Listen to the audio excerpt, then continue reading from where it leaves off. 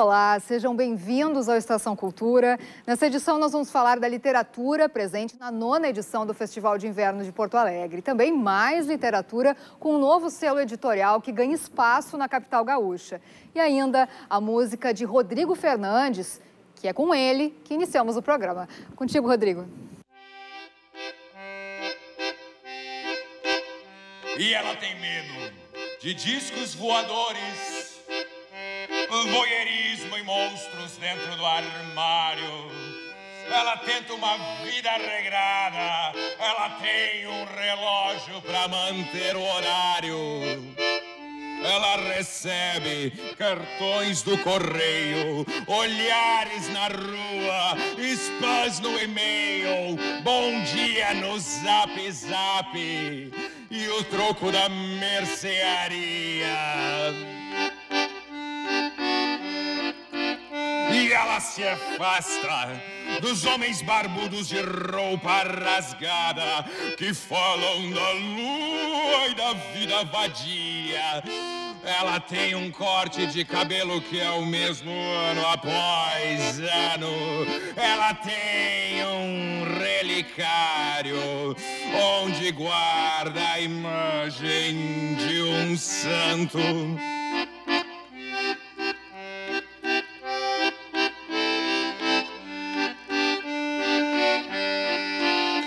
Já fez amor com taxímetro. Dois homens e um cavalo, tudo em sua imaginação, porque ela, coitadinha, tem uma libido que de tão retraída, que de tão retraída ela cabe na palma da mão. E ela desdenha loiras de farmácia, pratos exóticos e prazeres desconhecidos. E ela passa o dia inteiro em casa a pensar no mal que vai ocorrer com seus cresceu espremida entre o feminismo e a chatice de ser a filhinha que papai quer.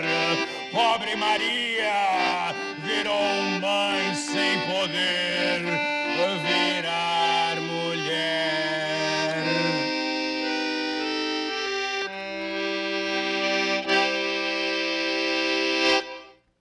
É isso aí, obrigada, Rodrigo. A nossa primeira entrevista é sobre um novo selo editorial gaúcho, Consultor Editorial Publicações. Para nos dar detalhes, está aqui conosco Paulo Tedesco, editor e idealizador da editora. Tudo bom, Paulo? Tudo ótimo. É sempre uma comemoração, né, o lançamento de um novo selo editorial. E vocês já chegam com um novo com um diferencial aí no mercado, né? Fala um pouquinho para gente. É, é, um, é um momento especial, sem dúvida. O consultor editorial Publicações ele é fruto de um processo longo em que eu comecei como coaching, dando uh, informações e ajudando autores por conta, à distância, em, pelo Skype. Né? E o pessoal acabava impressionando para me transformar também em editor, auxiliá-los a publicar e a vender os seus livros. Então, o diferencial começa na medida em que alguns livros são feitos quase que a quatro mãos, outros títulos eu participo diretamente. E tem sido um prazer enorme. Pois é, esse processo aí que eu queria que tu contasse um pouquinho para gente, né? Vocês uh, buscam uh, o melhor de cada obra, ali acompanham é, cada etapa, né? Junto com o escritor, é isso? Perfeito. É aquela tática de jogar o livro dentro de uma garrafa, jogar a garrafa no mar para ver no que vai dar, comigo não funciona. Uhum. Eu acho que eu via muita pobreza e há muita pobreza hoje, na medida em que tu acreditas que o, o texto nasce pronto. O escritor vai lá, ou ele paga, ou a editora financia e publica e está resolvido. Não, as coisas não são assim. Né? Hoje, grandes editoras, eu me balizo por grandes editoras mundiais, né? Elas têm esse processo de trabalhar o texto, trabalhar a introdução, trabalhar o primeiro capítulo, os romances. Você tem que se envolver com o texto na, na maneira em que o próprio autor se sinta à vontade diante daquilo. E eu, eu como autor também, sou também autor de ficção, senti a solidão. E essa solidão, acho que o editor, o moderno editor, ele tem que enfrentar e olhar de olho no olho do autor e participar em conjunto na construção. Perfeito. E o foco de vocês, assim, também são os novos escritores, né? É, vocês têm agora, já lançaram um livro, né? Já vão lançar o segundo, que a gente vai falar Sim. daqui a pouquinho. É, vocês devem ficar, assim, dentro dessas temáticas aí desses livros. Um é de crônicas, né? O outro é um pouquinho mais diferenciado ou não? É, não qual é não. o foco de vocês? Eu estou abrindo, justamente, inclusive nós temos um de direito maravilhoso a caminho, que é uh, pensamento, introdução ao pensamento jurídico chinês, também tem um outro olhar. Uh, e são novos autores no nome novos, né? Porque são pessoas já com alguma estrada. E é isso que tem. Tem muita produção local, produção uh, em português hoje, com potencial, com capacidade, simplesmente não encontra esteio. E se você não trabalhar as pessoas e brincar só de, como eu falei, fazer o texto cru, sempre para fazer o texto cru e publicar, vai para aquela coisa ali que com todo respeito, aquela coisa chamada Amazon. Publica naquilo lá. Uhum. Sobe um Word naquilo lá e tu vai vender. Isso aqui não é a Amazon, isso aqui é uma editora de verdade que respeita os autores e respeita o texto, acima de tudo. Uhum. Bom, vocês já lançaram um livro, acho que dia 18, é isso? Isso. E vamos falar então do Jornadas Desconhecidas? Sim, claro. Maravilha. Um texto incrível, fantástico, do nosso amigo Roberto Zacchia, o Beto Zacchia. Né? Uhum. É, foi um texto que, na realidade, também começou com um coaching editorial, coach literário, lá pela metade do ano passado. Ele queria um ghostwriter e, no fim, ele ganhou um chato. ganhou um chato, porque eu fui muito, peguei muito pesado com ele no início, porque o pessoal tem a mania de dizer, ah, tudo é texto de autoajuda. Eu disse, não, isso aqui não é um texto de autoajuda tradicional, tem uma pegada filosófica aqui, tem uma pegada humana. E essa questão da humanidade e da humildade faz parte dos grandes livros, dos grandes clássicos. Então, em, ficção, e embora não sendo de todo ficção, ele tem essa necessidade de, se, de conversar com o leitor num ponto de vista muito, muito bom. Uhum. Sede da editora em Canoas, né? Sede da editora em Canoas. Perfeito. Vamos passar então para o público direitinho o horário. É amanhã, sete e meia da noite, na rua Miguel Couto, 237. Tem também o Facebook, né, Paulo? É isso? Exato. Tem, tem no Facebook também, do consultor editorial, tu pode encontrar ali todas as informações, mais fotos e também no site, né, consultoreditorial.com.br, tem todas as informações também. Tá ótimo. A gente agradece a tua presença, muito sucesso aí no lançamento e nessa nova empreitada. Eu que agradeço o espaço maravilhoso aqui para uma editora local. Sempre tá bom. Tá certo, parabéns. Obrigado. É, chegou agora a hora de conhecer a experiência de um coletivo artístico em Porto Alegre. Cinco nomes e cinco trabalhos diferentes, mas que conversam entre si. Saiba mais sobre a Torre. Então, a gente está aqui em plena esquina democrática. Eu vou apresentar para vocês a torre no edifício Veracruz, que fica em cima do Cinema Vitória.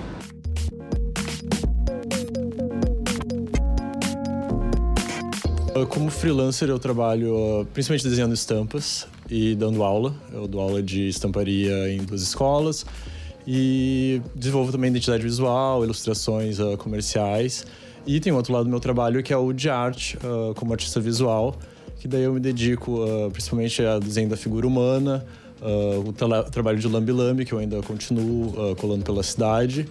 E também estou me dedicando um tempo a um zine homerótico que eu estou desenvolvendo, que é, acaba sendo biográfico, assim. Então, que eu acabo trabalhando com colagens, depois eu passo para desenho e acabo finalizando. ele ainda não está pronto, mas enquanto ele não finaliza, eu estou uh, colocando à venda e a público algumas das páginas uh, para, enfim, para girar, para panfletear, para para ele estar já à mostra, né? Já, já ter um retorno das pessoas. O material é meu processo. Eu vou achando umas coisas, o que, que eu posso usar isso aqui, o que, que eu posso fazer com isso, comprando um monte de papel, um monte de linha. Eu tô sempre vendo o que é novo para estar tá fazendo uma coisinha diferente.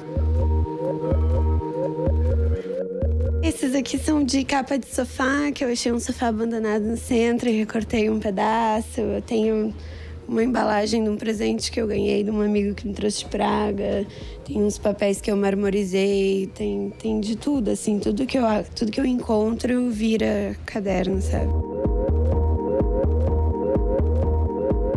Bom, eu sou o Dedulhos. Provavelmente as pessoas devem lembrar de mim por muitos anos performando na noite em festas e também como figurinista. Uh, a gente já está aqui há sete anos no prédio, né?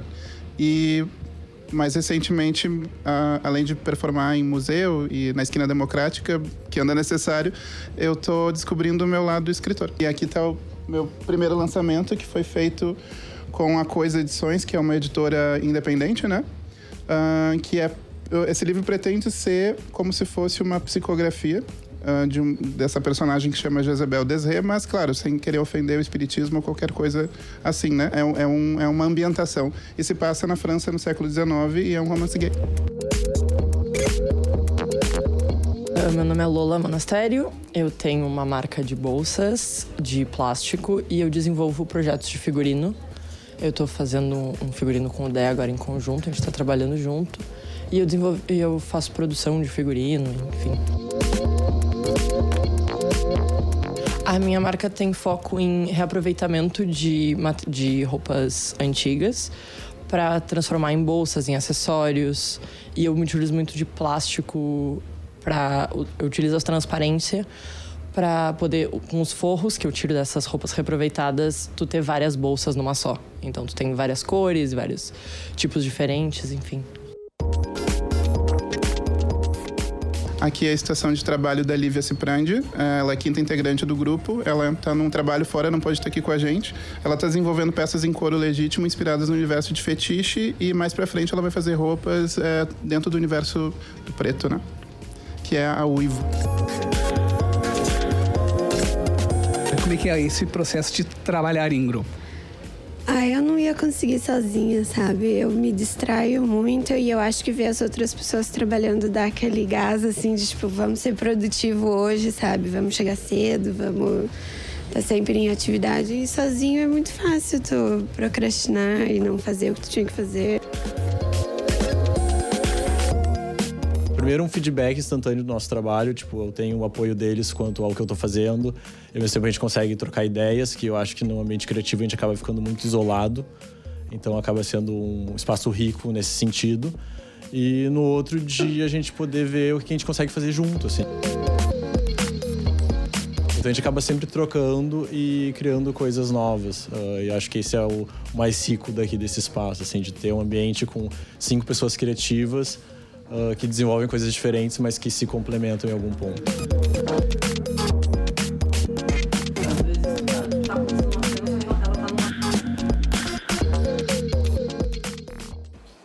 E agora a gente faz um breve intervalo. Logo, logo voltamos com mais informações culturais. Fique com a gente.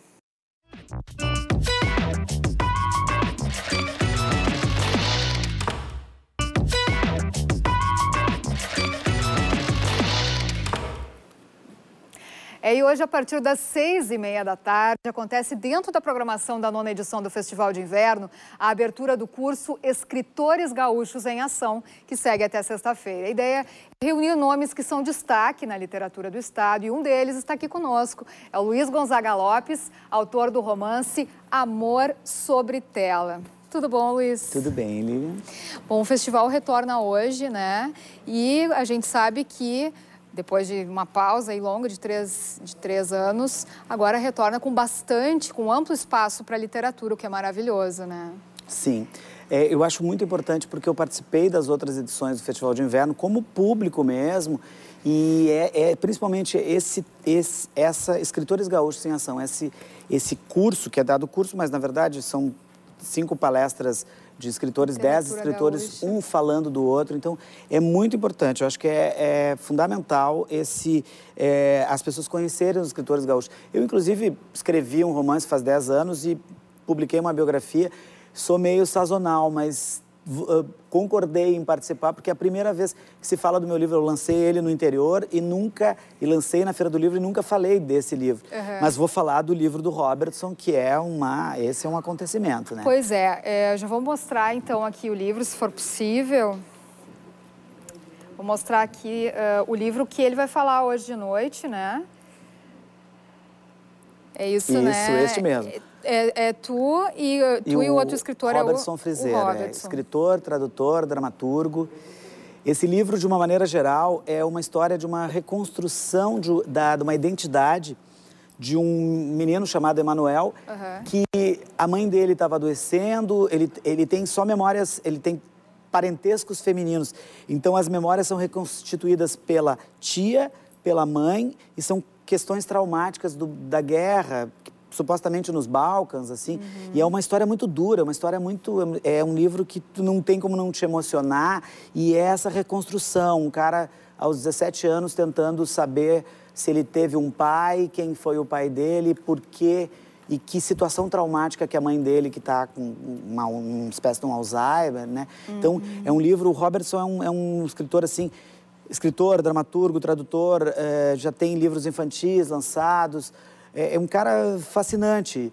Em contraponto a mim, que não tenho essa obra, assim, mas ao mesmo tempo mas, mas tu tem dois romances já, Tenho né? dois, é um romance e uma Fala biografia. um pouquinho deles aí, o teu é. último... É, a biografia foi é, encomendada pelo Porto Alegre em Cena, eu até já falei aqui no programa, é, da Débora Finocchiaro. E o livro Romance Amor Sob Tela está fazendo 10 anos que eu lancei na Feira do Livro.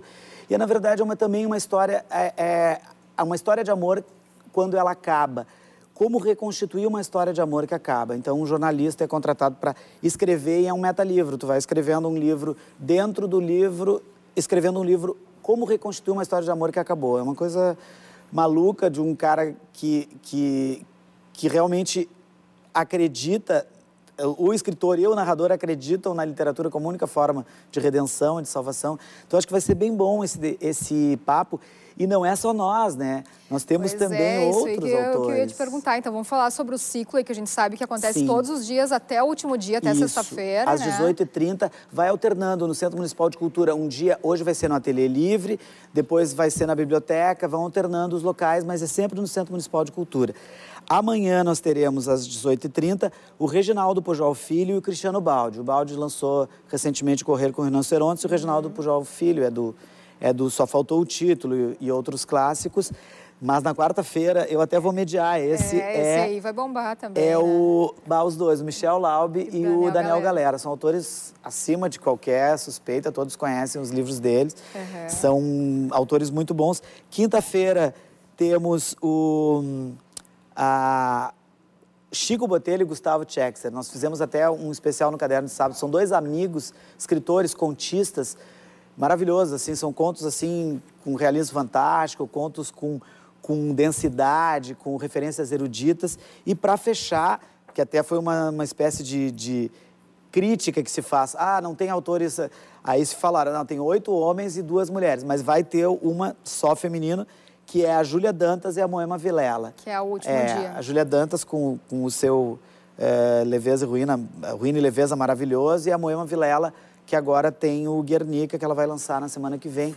São Perfeito. todos autores de grande qualidade que muitas vezes talvez o público não conheça, né? Isso que é tá mais aí a importante. maior, a grande chance aí. Indo um dia já é uma maravilha, um dia né? Já Imagina é... se conseguir. E esses são entrada franca. Perfeito. Os outros cursos, vocês já falaram, no Festival de Inverno tem, tem custo, mas esse é entrada franca. Tá ótimo. Só para lembrar, então, quem quiser conferir, o Luiz é hoje às seis e meia.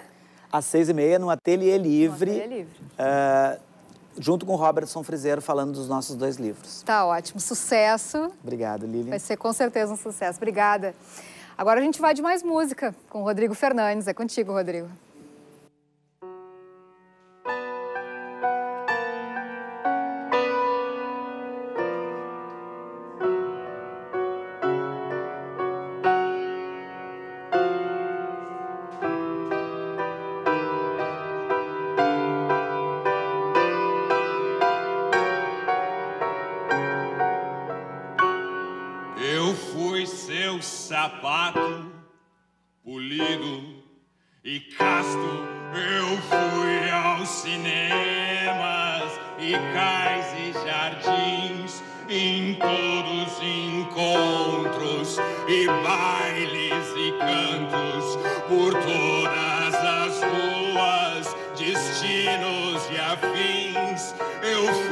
Seu sapato.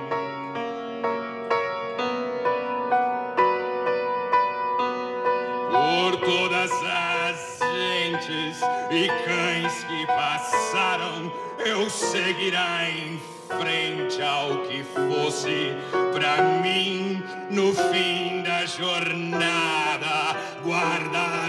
Caixa, guardando seu cheiro, suas unhas e calos, tropeços, boletos, reclames e ralos.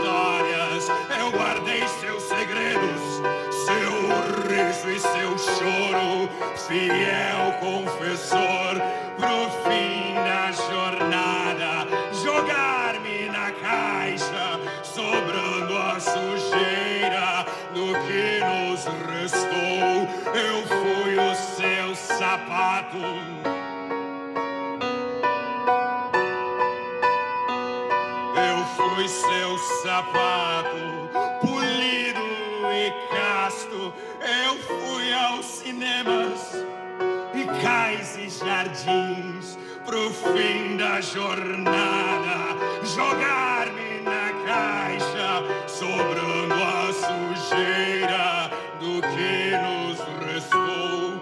Eu fui o seu sapato.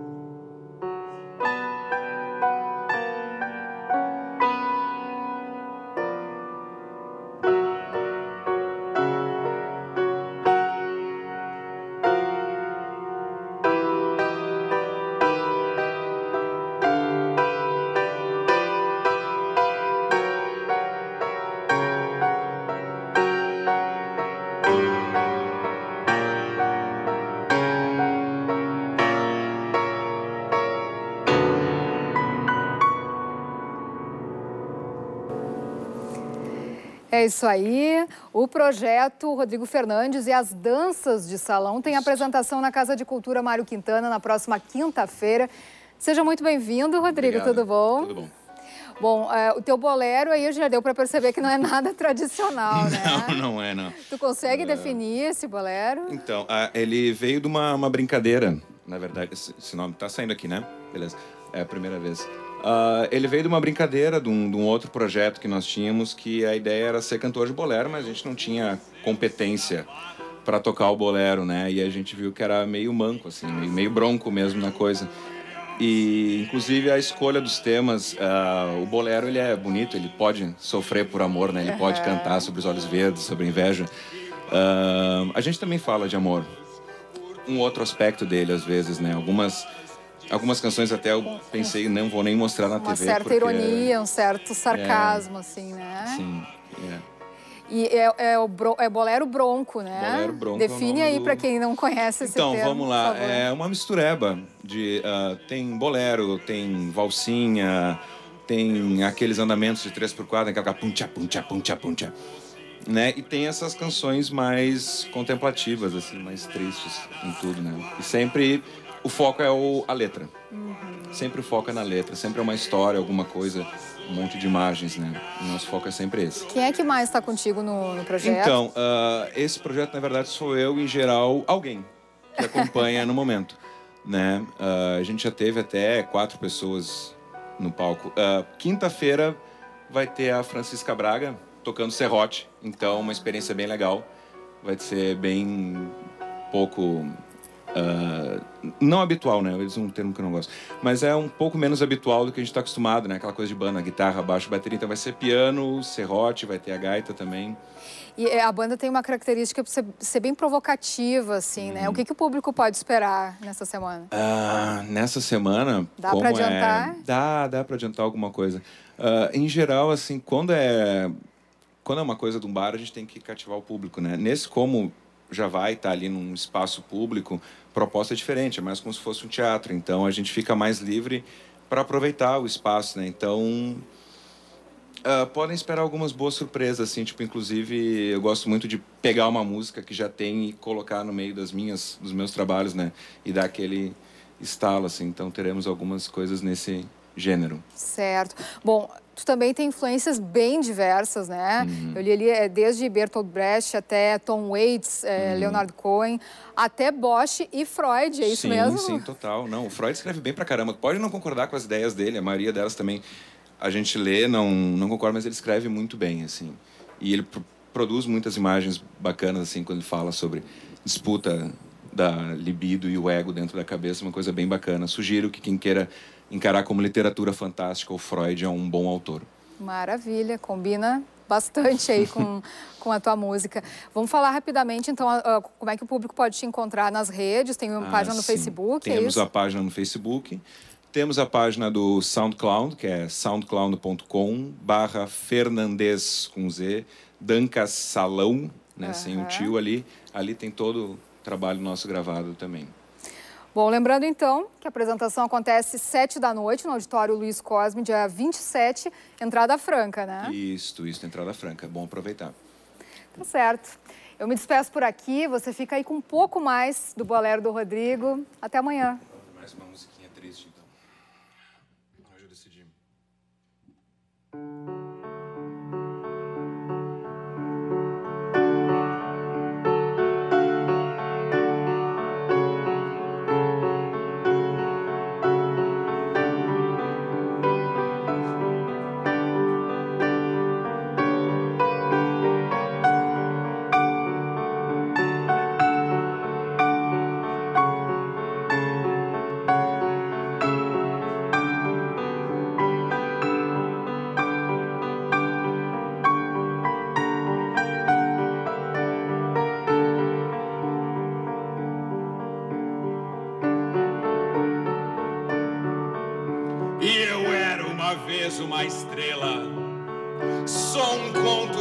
fadas esquecido.